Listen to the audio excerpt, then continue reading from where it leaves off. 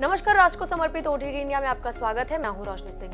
मुंबई में शिवसेना विधायक ने एक ठेकेदार से बदसलूकी की सारी हदें पार कर दी।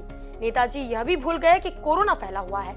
ऐसे में उनकी हरकत किसी के लिए जानलेवा साबित हो सकती है। मामला चांदीवली से शिवसेना के विधायक दिलीप लांडे से जुड़ा हुआ है। नेताजी ने एक ठेकेदार को पानी भरी सड़क पर बिठा दिया। उनके लोगों ने ठेकेदार को धक्का भी दिया।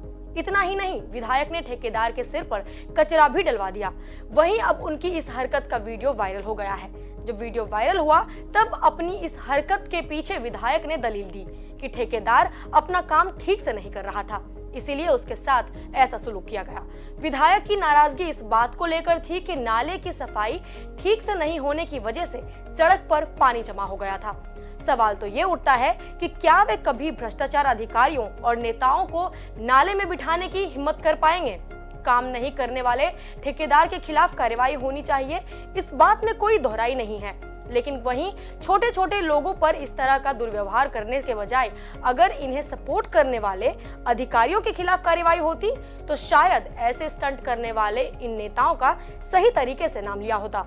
लेकिन वहीं इस खबर के दूसरे पहलू की बात करें तो ऐसे नेताओं का होना सही भी है, क्योंकि काम चोरी करने वाले ठेकेदारों की कभी हिम्मत ही ना हो काम चोरी करने की।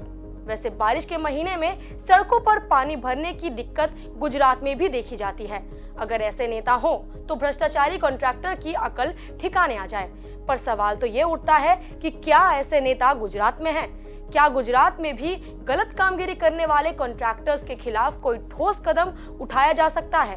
अगर सभ्य नेताओं ने सही तरीके से काम शुरू किया और ऐसे कर्म कर्म काम चोरी करने वाले ठेकेदारों के खिलाफ कार्रवाई करते रहे तो कोई भी कैनाल नहीं टूटेगी। रोड पर खड्डे नहीं होंगे और ना ही कोई ब्रिज टूटेगा।